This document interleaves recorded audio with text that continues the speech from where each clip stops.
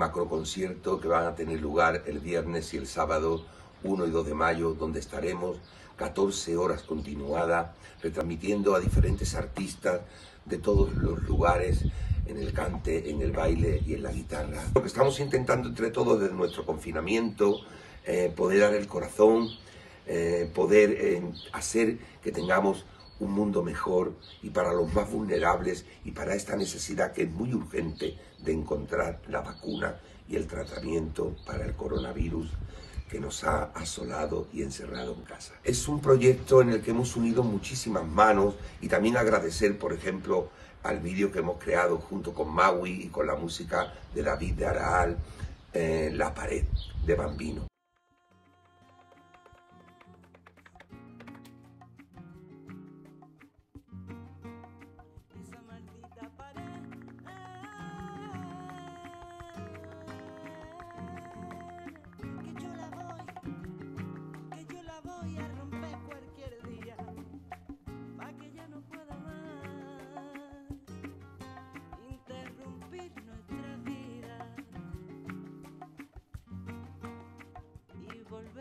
Besarte.